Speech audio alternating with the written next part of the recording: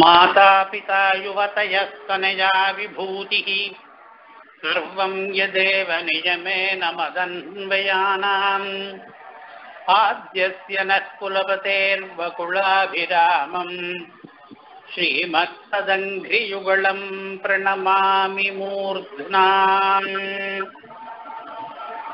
இன்றைக்கு வைகாசி விசாக திருநாள் நம்மாழ்வார் பற்றி ஆளவந்தார் அருளிய ஸ்தோத்திரத்தை ஒரு ஸ்லோகத்தை இப்பொழுது கேட்டோம். அது ஆளவந்தார் ஸ்தோத்திரத்திலே இருக்கிற ஸ்லோகம். இந்த நம்மாழ்வாரை பற்றி தமிழ் பாடல்களும் சம்ஸ்கிருத ஸ்லோகங்களும் ஏராளமாக இருக்கின்றன. எத்தனையோ பேர் அவரை துதித்திருக்கிறார்கள்.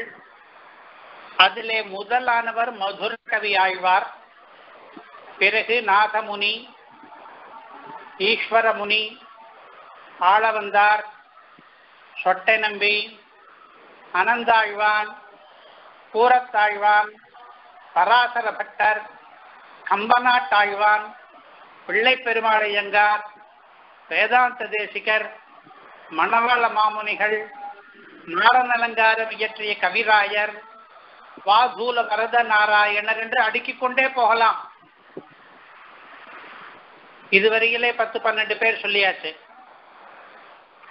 இன்னும் கூட தாமிரபரணி நதி தீரத்திலே திருநெல்வேலி சமீபத்திலே இருக்கிற தமிழ் புலவர்கள் இத்தனை நூற்றாண்டுகளிலே எந்த தமிழ் காவியம் இயற்றினாலும் முதலிலே நம்மாழ்வார் விஷயமாக ஒரு துதியை பண்ணிவிட்டு தான் ஆரம்பிக்கிற வழக்கமா? பல குடும்பங்களிலே அந்த தேசத்திலே அப்படி ஒரு வழக்கம். ஆகையாலே தமிழிலேயும் நிறைய நம்முடைய ஸ்ரீ வைஷ்ணவ சம்பிரதாயத்துக்கு வெளியிலேயும் கூட நம்மாழ்வாருக்கு நிறைய துதி பாடல்கள் உண்டு. தமிழிலே தனிப்பாடல் திரட்டு என்கிற புஸ்தகத்திலே பார்த்தால் நம்மாழ்வாருடைய திருவாய்மொழியையும் திருவள்ளுவருடைய திருக்குறளையும் சேர்த்து வைத்து புகழ்ந்து பேசுகிற பாடல்கள் உண்டு.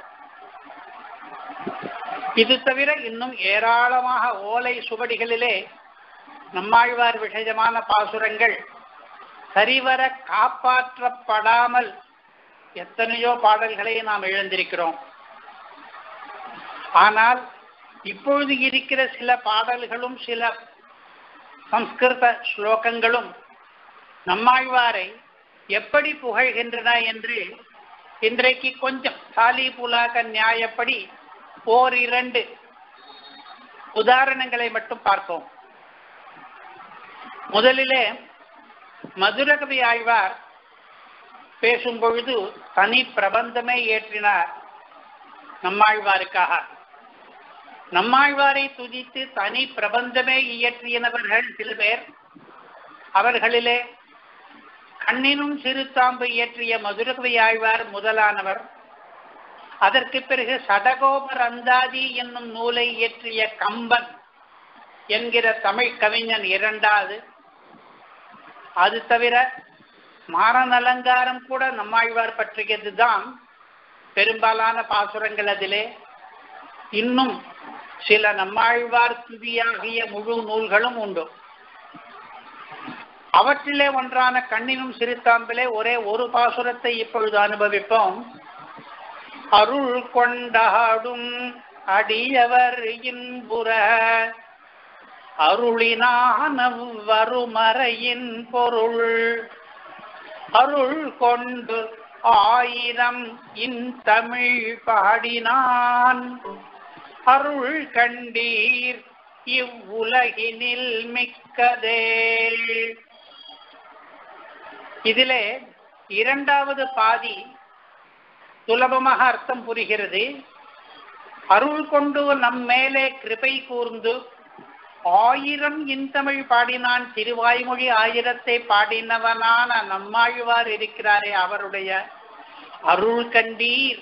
இவ்வுலகினில் மிக்கதே அவருடைய தயைதான் இந்த பிரபஞ்சத்திலே மிகவும் உயர்ந்ததாக இருக்கிறது என்று. அவ அப்படி அவர் என்ன பண்ணினார் என்றால் இரண்டாவது வரியிலே சொல்கிறார் அருளினான் அவ்வாறு மறையின் பொருள். மறை இருக்கிறதே வேதம் சம்ஸ்கிருத வேதம்.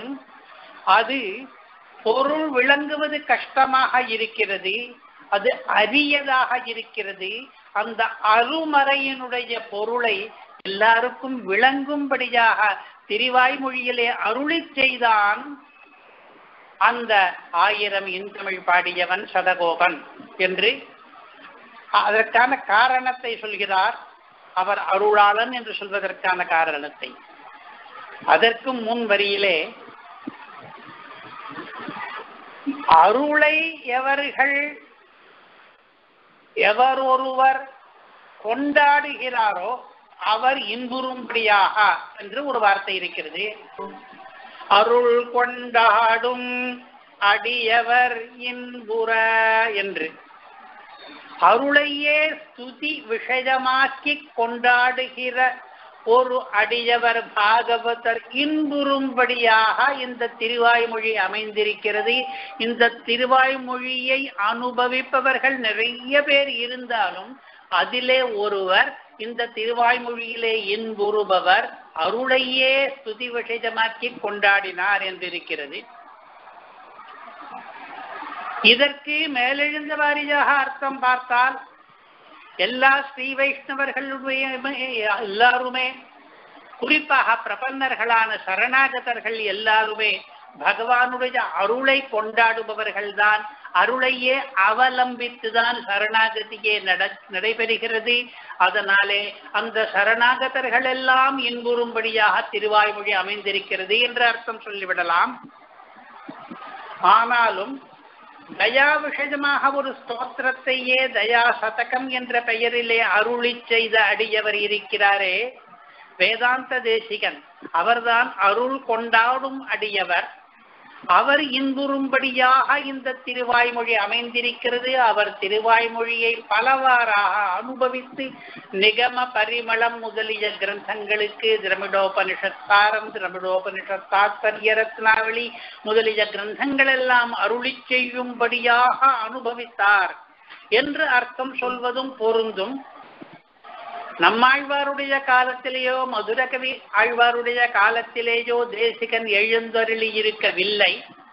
அதனாலே பாவி காலத்திலே பிற்காலத்திலே இப்படி தயாசதகம் அருளி செய்ய போகிற ஆச்சாரியன் இந்த திருவாய்மொழியை அனுபவிப்பார் என்று மதுரகவி ஆழ்வார் ஞான திருஷ்டியினாலே கூறியதாக நாம் கருதலாம். அந்த மாதிரி சம்பிரதாயத்திலே ஒரு விவகாரம் உண்டு. இப்பொழுது நம்மாழ்வாருக்கு இதனால் என்ன? விசேஷம்.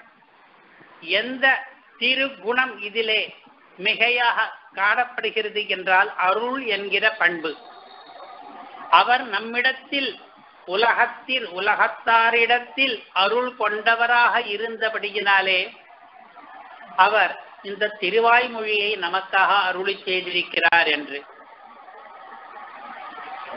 இதே போல நம்மாழ்வாரை பஞ்சஸ்தவங்களிலே ஒன்றான ஸ்ரீ வைகுண்ட ஸ்தவத்திலே போற்றி பேசுகிறார் பூரநாதர் பூரேசர் பூரத்தாழ்வான் ஸ்ரீவத்சாங்கமிஸ்ரர் என்று ஸ்ரீ பாஷ்யக்காரருடைய சிஷ்யர்களிலே பிரதானமாக பரிகணனம் பண்ணப்படுகிற ஆச்சாரியன் அவருடைய ஒரு ஸ்லோகத்தை அந்த ஸ்லோகத்திலே இருக்கிற சூக்ம அர்த்தங்களை இப்பொழுது அனுபவிப்போம்.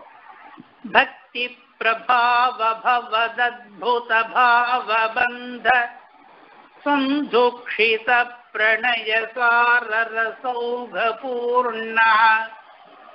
வேதார்த்த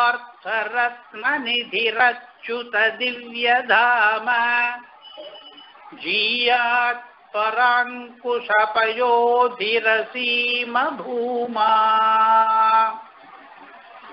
ஒன்றை கவனிக்க வேண்டும். ஆளவந்தா ஸ்தோத்திரத்திலேயும் சரி இந்த ஸ்ரீ வைகுண்ட ஸ்தவத்திலேயும் சரி. ஸ்தோத்திரத்துக்கு முக்கியமான விஷயம் பகவான். ஆனால் இந்த இரண்டு ஆச்சாரியர்களும் நம்மாழ்வாரை ஒரு ஸ்லோகமிட்டு வணங்கிவிட்டு தான் பகவத் ஸ்தோத்திரத்தை ஆரம்பிக்கிறார்கள். நம்மாழ்வார் நமக்கெல்லாம் ஆச்சாரியர். அவர் மூலமாகத்தான் நம்முடைய ஸ்ரீ வைஷ்ணவ சம்பிரதாயம் தழைத்துக் கொண்டு வருகிறது. ஆகையினாலே ஆளவந்தாரும் மாதா பிதா என்று ஆரம்பிக்கிற ஸ்லோகத்தை ஏற்றிவிட்டு அதற்கு பிறகு பகவத் ஸ்தோத்திரத்தை ஆரம்பிக்கிறார். ஆளவந்தார் ஸ்தோத்திரத்திலே ஸ்தோத்திர ரத்தனம் எண்ணப்படுவதிலே அதே போல ஸ்ரீவைகுண்ட ஸ்தவம் என்கிற இந்த ஸ்தோத்திரத்திலேயும் கூறத்தாழ்வான் ஒரு தனி ஸ்லோகத்தினாலே நம்மாழ்வாரை துதித்துவிட்டு பிறகு ஸ்ரீ வைகுண்டநாதனுடைய ஸ்தோத்திரத்தில் இழுகிறார் நம்மாழ்வாரை குறித்து இரண்டு ஸ்லோகங்கள் கூட உண்டு அதிலே இது ஒன்று. இதிலே நம்மாழ்வாரை பற்றி கூறத்தாழ்வான் என்ன தெரிவிக்கிறார் என்றால் பராங்குஷபயோதிஹி நம்மாழ்வாருக்கு பராங்குஷன் என்கிற பெயர் எல்லாருக்கும் தெரிந்ததுதான். ஆனால் இங்கே அவரை பராங்குஷ பயோநிதி என்கிறார். பயோநிதி என்றால் சமுத்திரம். நம்மாழ்வாரை ஒரு சமுத்திரமாக உருவகிக்கிறார். சமுத்திரமாக உருவகிப்பது என்பது இதற்கு முன்னையே நாதமுனிகளே நம்மாழ்வாருடைய நேரடி சிஷ்யரானவரே நமக்கு காண்பித்து விட்டார். நமாம்யகம் திராவிட வேத சாகரம் என்ற தனியன் ஸ்லோகத்தை இயற்றி. ஆனால் அதிலே அவர் திருவாய்மொழியைத்தான் சமுத்திரம் என்று குறிப்பிட்டார்.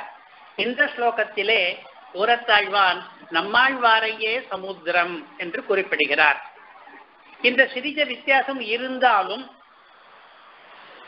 நாதமுனி ஆளவந்தார் தொடங்கி நம்மாழ்வாரை நாம் எப்படி கௌரவித்து வந்திருக்கிறோமோ அது.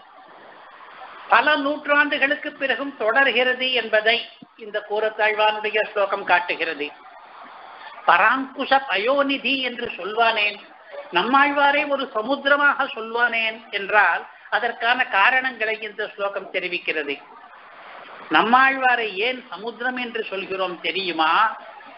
சமுத்திரத்திலே ரத்தனங்கள் இருப்பது போலே நம்மாழ்வாரிடமும் ரத்தனங்கள் இருக்கின்றன. சமுத்திரத்திலே ஜலப்பிரவாகம் இருப்பது போலே நம்மாழ்வாரிடத்திலும் ரசப்பிரவாகம் இருக்கிறது. சமுத்திரம் அச்சுதனுக்கு திவ்ய தேசமாவது போலே நம்மாழ்வாரும் பகவானுக்கு திவ்ய தேசமாக ஸ்தானமாக இருக்கிறார் இருக்கிறார்.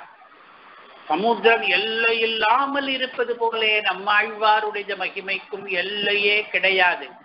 இந்த நாலு முக்கிய காரணங்களாலே நம்மாழ்வாரை நாம் சமுத்திரம் என்று சொல்கிறோம் என்று இந்த ஸ்லோகத்தினுடைய அர்த்தம். இன்னும் கொஞ்சம் சூட்சமாக கவனித்து பார்த்தால் நம்மாழ்வாருக்கும் சமுத்திரத்துக்கும் இவர் இன்னும் கூட நிறைய சாமியங்களை ஒப்புடுமைகளை சொல்வதாக தெரிகிறது.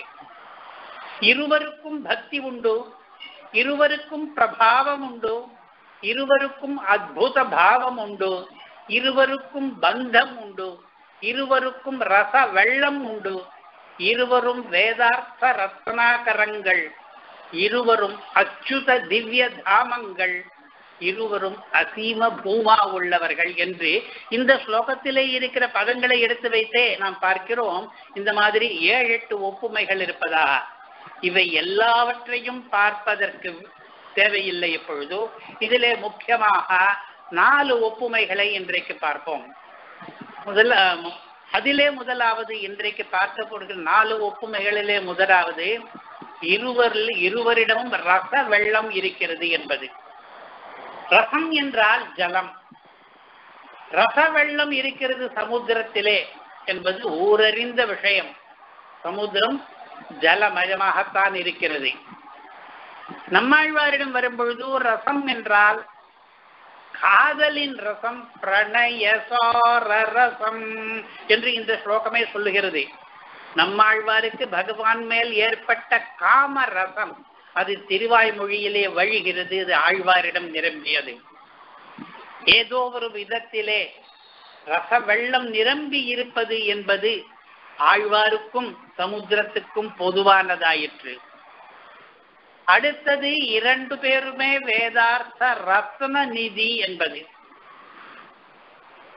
இதிலே சமுத்திரம் எப்படி வேதார்த்தம் என்று அதையும் மூதலிக்க முடியும். ஆனால் இன்றைக்கு சமுத்திரம் ரத்ன நிதி என்பதை மாத்திரம் எடுத்துக்கொள்வோம். அதற்கு ரத்னாகரம் என்றே பெயர். நிறைய ரத்னங்கள் முத்து பவழம் முதலிய அநேக ரத்னங்கள் சமுத்திரத்திலே தான் விளைகின்றன. அதனாலேதான் சமுத்திரத்துக்கு ரத்னாகரம் என்று பெயர். சமுத்திரத்திலே நாம் ஸ்நானம் பண்ண போனோமானால் சமுத்திர தேவனை வணங்கி விட்டுத்தான் ஸ்நானம் பண்ண வேண்டும். அப்பொழுது சொல்ல வேண்டிய ஸ்லோகம் சர்வரத்னமய ஸ்ரீமன் சர்வரத்னாகராகர என்று அந்த சமுத்திரத்தை நாம் சம்போதனம் பண்ணி நமஸ்காரம் பண்ணுகிறோம். அதனாலே அவன் ரத்ன நிதி அது சமுத்திரத்துக்கு ஏற்பட்ட சிறப்பு. இப்பொழுது ஆழ்வார் எப்படி ரத்னாகரமாகிறார் என்று கேட்டால் வேதார்த்த ரத்ன நிதி வேதத்தினுடைய அர்த்தம் என்கிற ரத்தனம் இருக்கிறதே அது ஏன் ரத்தனம் என்றால் அது அவ்வளவு சிறப்பு வாய்ந்தது அவ்வளவு உயர்ந்தது. அதனாலே அது வேதார்த்தம் ஒவ்வொன்றும் ரத்தனமாகிறது. அந்த ரத்னத்துக்கெல்லாம் இவர் நிதியாயிருக்கிறார். ஆழ்வார் வேத அர்த்த ரத்னங்களினுடைய நிதியாக இருக்கிறார். இதை பலவிதமாக நாம் புரிந்து கொள்ளலாம். வேதத்திலே இருக்கிற அர்த்தங்களை தான் தன்னுடைய திருவாய்மொழியிலே காண்பித்திருக்கிறார் என்று நிறைய பூர்வர்கள் சொல்லி இருக்கிறார்கள் ஆனால் வேதத்திலே எந்தெந்த அர்த்தங்களை திருவாய்மொழியிலே காண்பித்திருக்கிறார் என்பதற்கு கோடிட்டு மட்டும் காண்பித்திருக்கிறார்கள் ஒன்றிரண்டை உதாரணமாக வேதம் சொல்கிறது ரசோ வைசா என்று பகவானுக்கு ரசம் என்று பெயர் வைக்கிறது உபனிஷத்து. ஆழ்வார் அந்த அர்த்தத்தை கனியை கரும்பினின் சாற்றை கட்டியை தேனை அமுதை என்றெல்லாம் பகவானை வர்ணித்து அவன் ரசன் என்கிற வேதார்த்த ரத்தனத்தை இவர் காண்பிக்கிறார். அதே போல இன்னொரு உபனிஷத்து ஈஷாவாஸ்யமிதம் சர்வம் ஜகத்யாம் ஜகதி என்று ஒரு வேதார்த்தத்தை சொல்கிறது. அந்த வேதார்த்தத்தை சொல்லும் பொழுது பகவான் எல்லா இடத்திலேயும் வியாபித்திருக்கிறான் என்பதை எந்த மாதிரி வார்த்தைகளை இட்டு சொல்கிறது? ஜெகத் என்றால் இடம் ஜகத்யாம் எத்கிஞ்ச என்றால் இடத்திலே இருக்கிற பொருள் இடத்தையும் இடத்திலே இருக்கிற பொருளையும் வியாபித்திருக்கிறான் என்று சொல்கிறது.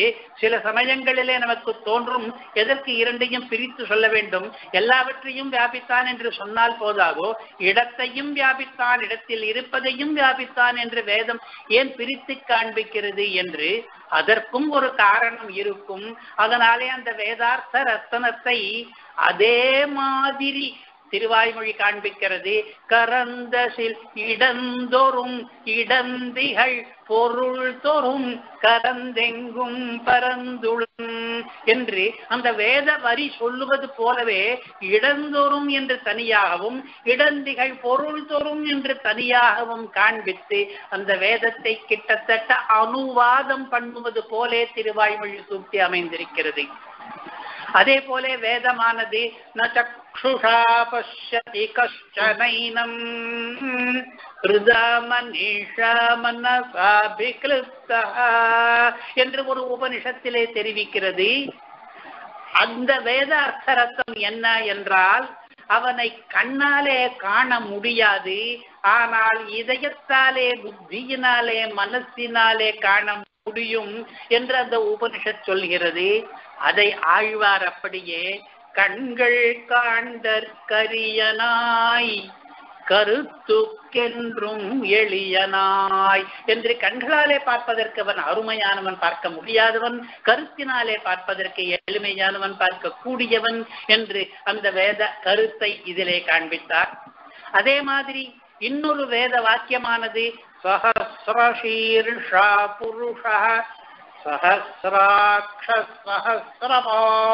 என்று ஒரு அர்த்த ரத்தனத்தை சொல்லிக் கொடுத்தது. அதை ஆழ்வாரும் முடிகளாயிரத்தாய் துணை மலர் கண்களாயிரத்தாய் தாள்களாயிரத்தாய் என்று திருவாய்மொழியிலே சொல்வார். அதாவது வேதம் சொன்ன அர்த்த ரத்தனத்தை தமிழிலே இவரும் காண்பிப்பார்.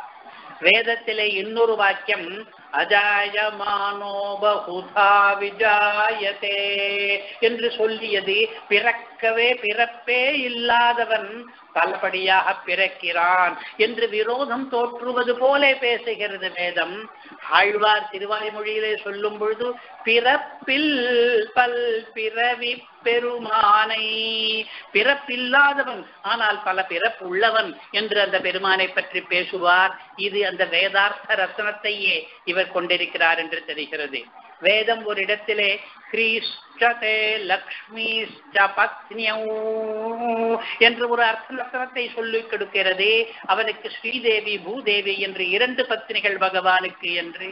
ஆழ்வாரும் மணாளன் மலர் மங்கைக்கும் மண்மடந்தைக்கும் என்று. அதே ஸ்ரீதேவி பூதேவி என்கிற உபஜனாச்சிமார்களை சொல்லி காண்பிப்பார். இவ்வாறாக நூற்று கணக்கிலே இருப்பதாலே ஆழ்வாருக்கு வேதார்த்த ரத்ன நிதி என்கிற ஒரு பட்டத்தை கொடுக்கிறார் இந்த கூறத்தாழ்வார் எப்படியோ ஆழ்வாரும் சமுத்திரமும் ரெண்டு பேரும் ரத்தன நிதி என்கிற சாமியம் வந்துவிட்டது. இப்பொழுது அதற்கு அடுத்த ஒப்புமை அச்சுத திவ்ய தாம என்பது. சமுத்திரம் அச்சுதனுக்கு ஒரு திவ்ய தேசமாகிறது. அதாவது கடலிலே அச்சுதன் வாழ்கிறான். அது நூற்றெட்டு திவ்ய தேசங்களிலே ஒன்றாக பரிகணிக்கப்பட்டது. செழுந்திலை பார்க்கடல் கண் துயில் மாயம். என்று நாம் பாடுகிறோம் அல்லவா? பார்க்கடலிலே அவன் படுத்துக் கொண்டிருக்கிறான். அதனாலே அது அச்சுதனுடைய திவ்ய தேசமாகிறது. ஆழ்வாரும் அச்சுதனுடைய திவ்ய தேசமாகிறார். எப்படி என்றால் அவர் அடிக்கடி என் நெஞ்சு நிறைய புகுந்தான் என்றும் ஒருவன் அடியேன் உள்ளானே திருமாலிருஞ்சோலை மலையே திருப்பார் கடலே என் தலையே திருமால் வைகுந்தமே தன் திருவேங்கடமே எனதுடலே என்று தன் தலை தன் உடல் இதெல்லாம் மற்ற திவ்ய தேசங்களோடு சேர்த்து சேர்த்து அவர் பாடுகிறார். என்ன அர்த்தம்? இங்கேயும் தான் பெருமாள் வாசம் பண்ணுகிறான். விரும்பி வாழும் திவ்ய தேசங்களிலே ஒன்றாக இந்த ஆழ்வாரும் ஆகிவிடுகிறார் அந்த பெருமாளுக்கு. ஆழ்வாரும் பார்க்கடலும் இந்த விதத்திலே சமம். எப்படி அழகர் மலை வேங்கடமலை வைகுந்தம் எல்லாம் திவ்ய தேசமோ அச்சுதனுக்கு அதே போலத்தான் இந்த நம்மாழ்வார் என்பவரும் அச்சுதனுக்கான திவ்ய தேசம்தான் இன்னொரு விதமாக பார்த்தால் தாம என்பதற்கு தேஜஸ் என்று ஒரு அர்த்தம் கூட உண்டு. அச்சுத என்பதற்கு நழுவ விடாத என்ற அர்த்தம் உண்டு. நம்மாழ்வாரானவர் அச்சுத திவ்யதாமா என்பதற்கு இன்னொரு அர்த்தம் கூட உண்டு. அவர் நழுவாத திவ்யமான தேஜஸ் கொண்டவர் என்று. நம்மாழ்வாருடைய வைபவத்தை பார்த்தால் அவருடைய திவ்ய சரித்திரத்தை வாசித்து பார்த்தால் நம்மாழ்வாரிடமிருந்து ஒரு திவ்யமான தேஜஸ் பல அகாத தூரங்களுக்கு பரவியது என்று ஒரு கதை வருகிறது.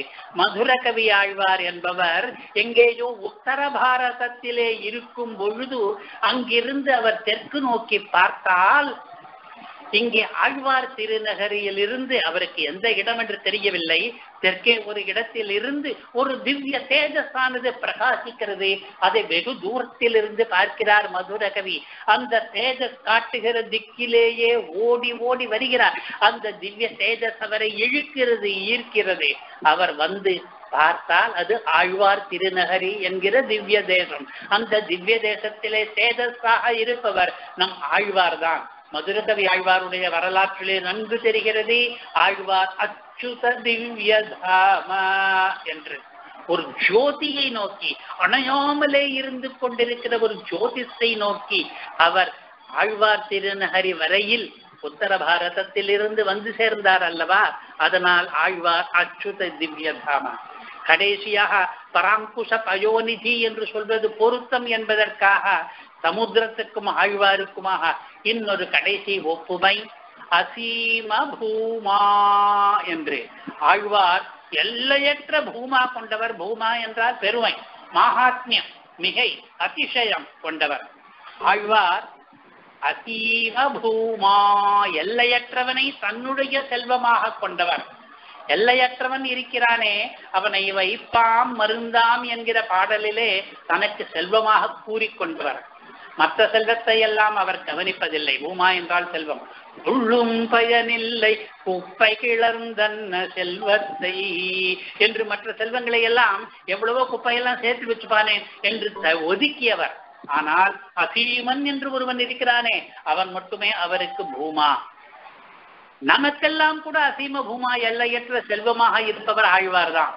அசீம பூமா என்பதற்கு இப்பொழுது மூன்றாவது அர்த்தம்.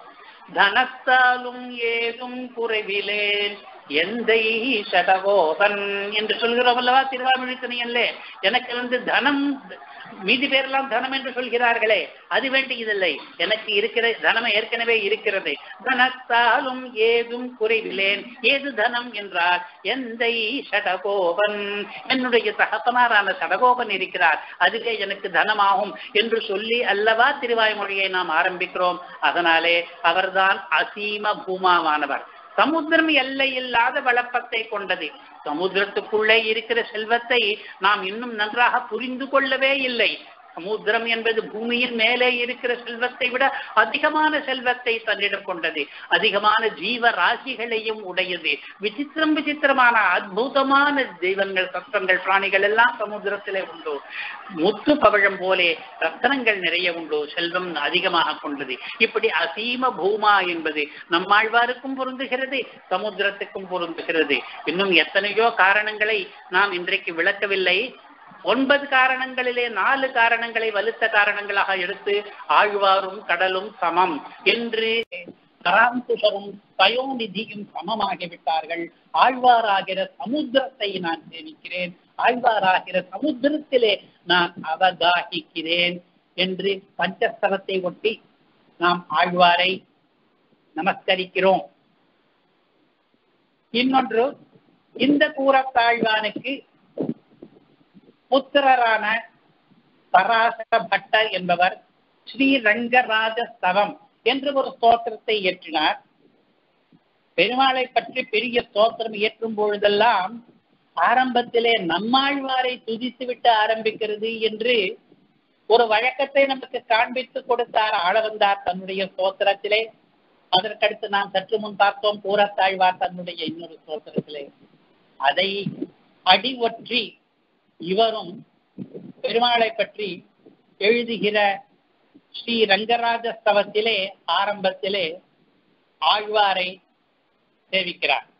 அவருடைய ஸ்லோகம் கிருஷிம் துஷாமகே கிருஷ்ண கிருஷ்ணா தத்வமிபோதிதம் சஹசிரசாகாம் யோத்ராட்சீத் திராவிடீம் பிரம்ம சம்ஹிதாம் என்று.